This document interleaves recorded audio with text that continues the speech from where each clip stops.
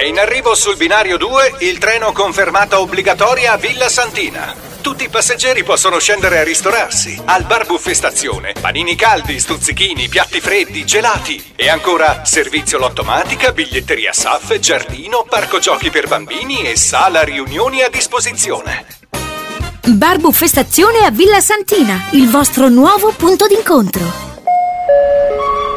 È in partenza sul binario 2 il treno